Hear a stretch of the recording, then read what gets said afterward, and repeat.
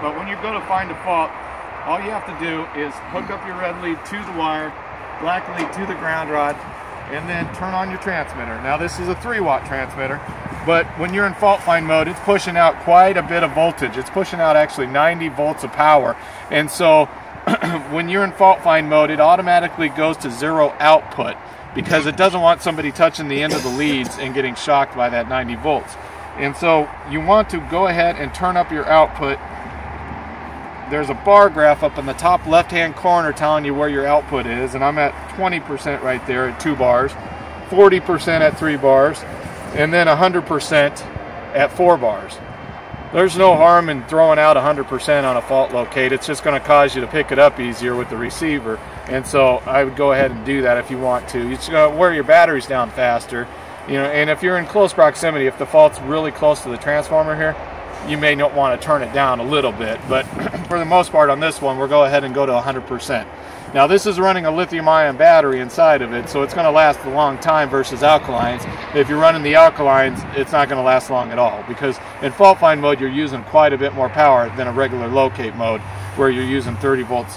But you can locate this line out first if you want to by using one of the fault find, or one of the uh, locate frequencies, which is 512, 8, or 33. But say if it's already located out like this one is, we'll just go ahead and go to fault find mode which is 8 kilohertz as well. But in fault find mode, you have a little A-frame icon showing you that you're in fault find mode. So you go to the A-frame icon, 8 kilohertz, and then you go ahead and turn it up all the way to 100%, and we're set to go. Our ground rod's good. It's making noise, letting me know that it's a completing a circuit, and we can go ahead and get, use our A-frame now.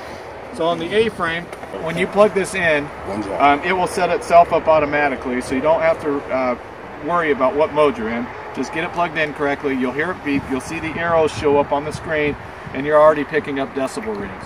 But you don't have to be directly over the wire when you're fault locating. You can be off to the side at you know two, three, four, five foot if you want to.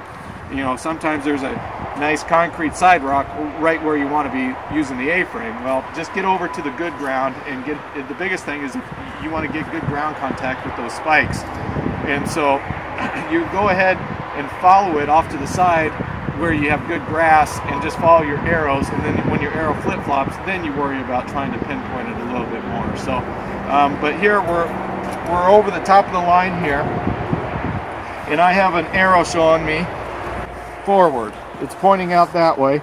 And I have a decibel reading reading about 57 decibels right now what's happening is remember that that ground rod over there is about the same decibel level as the fault down down the way here. And the decibel level is going to start high like this. And because it's still picking up the ground rod and then it's going to kind of plateau off once we get about halfway to the fault and then the decibel level will start to climb back up again. When you start to see it come back up you want to lower your intervals you shorten the intervals up with your a-frame because you know you're getting closer to the fault but right now we have a 57 decibel level. It's telling us to go forward. I want to keep the green leg of this A-frame always facing the same direction as the front of my receiver. The red towards the back. And so if I'm going to turn around, I want to turn both of them around. Okay, and if I plug it in this way, it's still going to, arrow still pointing me the, the right direction. But I just don't want to turn it independently. I want to turn them together because they're one unit.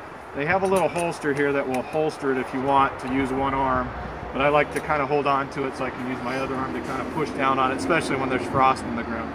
So I got a 57 decibel reading. My arrow's pointing me to go forward. I'm going to go ahead and probably go 10, 15 foot. And you can see we already have some red marks on the ground, so somebody's already located the path. But now I got a 43, 45 decibel reading and it's still telling me to go forward so I'm going to go keep on going. Still telling me to go forward. I'm about the same on my decibel level just the high 30s so I, am plateauing so which means I'm about halfway there. So now I'm going to keep on going and about the same about a 42 low 40s high 30s still telling me to go forward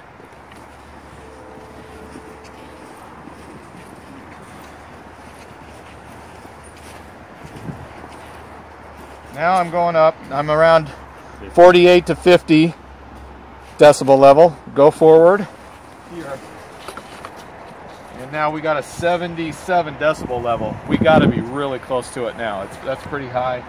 And then it goes a little bit further. And now the arrow flip-flopped, telling him to go back. He's got a 71 decibel level, so he splits his distance in half. Now he's telling him to go forward with a 67 decibel level. Forward.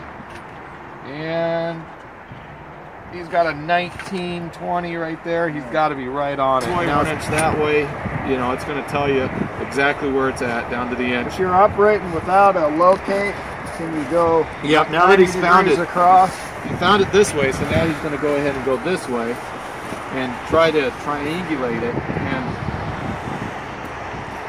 X marks the spot, it's telling him to go forward. Now it's telling him to go back that way. Now forward. So now he can draw himself a line this way and draw himself a line that way. And you know right where it is. If you want, you could also just hit this right button here and go into locate mode and locate it out. Batteries just went dead, but you could locate it out and then just hit the right button twice more and go back into A-frame mode. Or you can just unplug it if you wanted to, and that way you'll get a depth reading to show up. And so after you found the fault this way, you can go ahead and find it, locate it. It's right there, and it's measuring two foot, one inch deep, so you know right where to dig and how deep it What is. did you go in? What mode for that? Uh, just regular 8 kilohertz. Since we're using 8 kilohertz for fault locating, 8 kilohertz can be used for line locating too.